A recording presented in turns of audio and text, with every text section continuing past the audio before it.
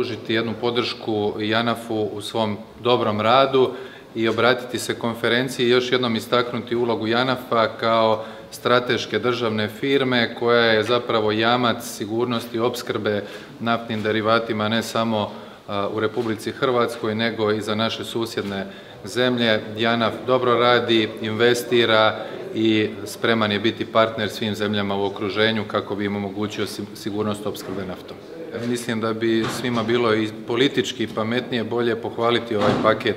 mjera koje je vlada donijela jer je taj paket mjera omogućio da se i dalje štiti standard hrvatskih građana, da se štiti hrvatsko gospodarstvo. Prezentirali smo vam kako cijene električne energije sljedećih šest mjeseci ostaju iste kao što su i bile, da naši građani plaćaju, kada pogledate primjerice Eurostatove usporedbe u gradu Zagrebu, jedino Budimpešta ima nižu cijenu električne energije od svih europskih gradova, gradova Europske unije. Prema tome, to je još,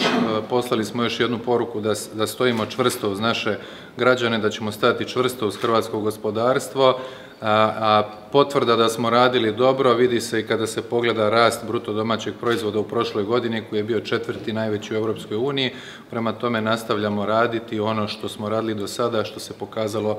što se pokazalo kao pravi potez. Što se tiče rasterećenja plaća, podsjetit ću da je 2016. mislim da osobni odbitak je bio 2600 kuna, sada je on 4000 kuna, to je sve kao posljedica